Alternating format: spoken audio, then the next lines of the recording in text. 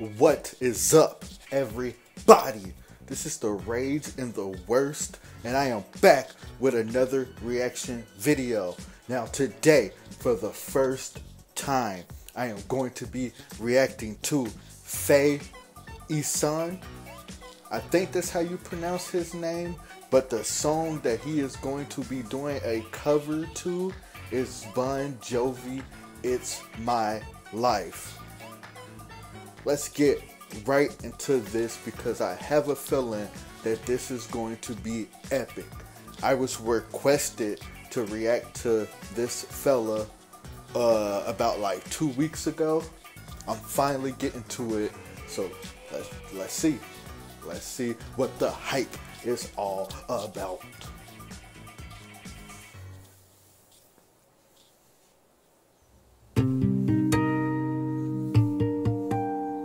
Yo, how is he playing like that?